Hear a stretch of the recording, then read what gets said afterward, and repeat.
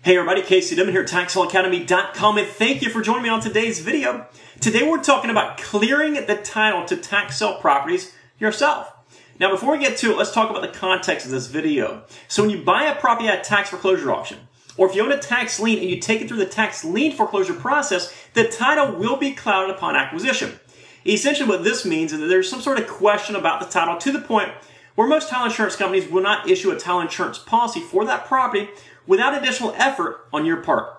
This means that until you cure the clouds on that title, you will not be able to get full market value. You can, of course, sell the property without title insurance, but you can't do so with that policy, which is going to be customary procedure for most real estate transactions in the United States. And of course, it's going to be required for those purchasers using a mortgage to acquire that property. Now, that's a very, very brief overview. If you'd like to learn more about title issues on tax defaulted real estate, just head over to my channel and search for the videos. Now, the two primary ways to cure the title are going to be through the tax foreclosure certification process and a suit to quiet title. A certification requires one of a handful of companies to certify that everything was done correctly. A suit to quiet title is an actual lawsuit that will quiet the claims of any potential claimants or other parties and should be handled by an attorney. It's actual court actions. Those are the two primary ways to do it. From time to time, I do get asked if somebody can just do their own suit to quiet title. And the answer is that I do not recommend it. One thing you can do, however, is attempt to cure the title defect yourself by having the interested parties sign over any interest that they claim in that property to you. Now, what happens is that the tax foreclosure process could leave, albeit rare, an opportunity for the former owner or owners to challenge the foreclosure action in court that everything was not done perfectly. Because the rare possibility does exist, the title therefore is not insurable. But you could have that interested party sign the title over to you and then solve that issue.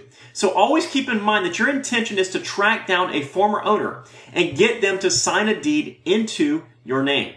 Now here's uh, just an abbreviated process behind doing this. Just so you understand guys, like all of my YouTube videos, this is a very abbreviated process. There's too many steps, tips, and processes in addition to the ones we're about to go over, but they're way too complex for a quick little YouTube video. All right, so your first step is going to be a title search. That's going to be the very first thing you want to do is to have a title search RAM if you don't already have one. You can contact a local attorney or local title company, order one, and pay them their fee. Now, you can do one yourself, but the best way is to hire them to do one for you for reasons we're going to be discussing momentarily.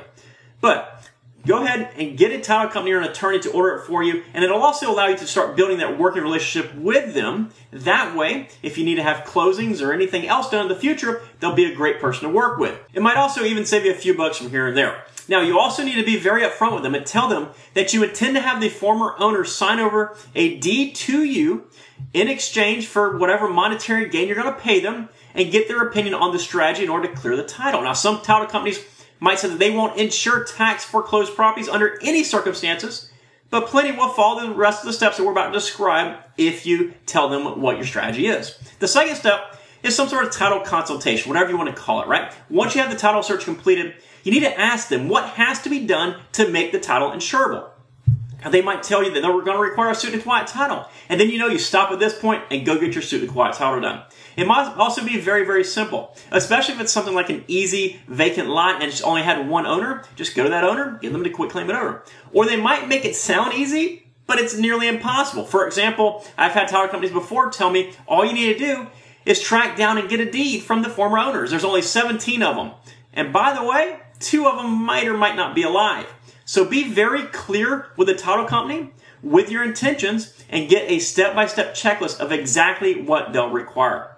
Number three, check for surplus. Now, you might think this is kind of thrown in there, but it's very, very strategic. Once you determine exactly who you need to sign a deed to you, I always go and check to see if there's any surplus funds available for that person. Surplus funds are the funds that were paid above and beyond the amount of the taxes, delinquent fees, and interest that were owed to the county. For example, if the county was owed, say, $5,000 and the property sells for $8,000, then you have $3,000 in surplus funds. Those surplus funds belong first to any lien holders, then to the property owner who lost the property. Now that's a brief synopsis, but obviously they can vary from state to state. Anyhow, you need to check for the amount of surplus funds that are available. This will give you an idea of what, if anything, the person that you're about to contact has access to. That way, gives you a little bit of negotiating chip. Say, hey, by the way, I'll help you get your $3,000 or whatever the surplus funds are. Number four, contact the owners. Yeah, just contact the owners. Sounds pretty easy, right? It's actually much, much harder than it sounds. Properties that are lost to tax foreclosure are lost because the former owner has not paid the taxes for years and years and years. They forget to pay the taxes, they don't want the land, they die, all sorts of other stuff. They also move very frequently.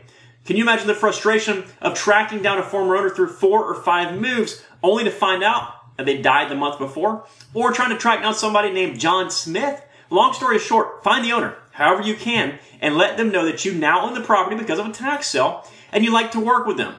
Best case scenario, you can assist them in claiming their surplus funds, which they probably weren't expecting in the first place. Otherwise, you might need to be prepared to negotiate with them, pony up some cash, or let them know that you'll a suit to quiet title, which of course sounds a lot more intimidating than it is.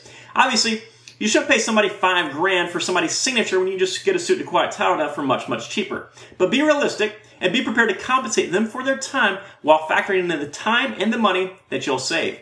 Number five is sign the deed. Once you've negotiated the transaction, you'll need them to sign over a quit claim deed, quit claiming their interest in the property to you. Now be sure it's prepared correctly or your efforts might be in vain. Have them sign the deed, make payment, get it recorded, and then go back to that same title company, tell them you followed their step-by-step process. Here's the deed, now give me my title insurance. That's it. It's a pretty simple process in theory. Obviously, it can be very difficult at times. Understand this entire process will only work if the title company or the closing attorney says it will. If there are outstanding lien holders that have an interest in the property, multiple errors, a property owned by an estate, or a number of other issues, then this process will not work. But it might be worth the effort to check just for the peace of mind prior to forking out the money that it takes to cure the title through the other methods that we discuss. Guys, I really hope that you enjoyed this video. And for more information about investing in tax defaulted real estate, including ways to get around title insurance, ways to cure title, ways to use the suit and quiet title process, and the tax foreclosure certification process, head on over to TaxSaleAcademy.com. Again, that's TaxSaleAcademy.com. Don't forget to grab your free copy of my book, Tax Sale Playbook, while you're there. Guys, I'll see you over on the site. Take care. Bye-bye.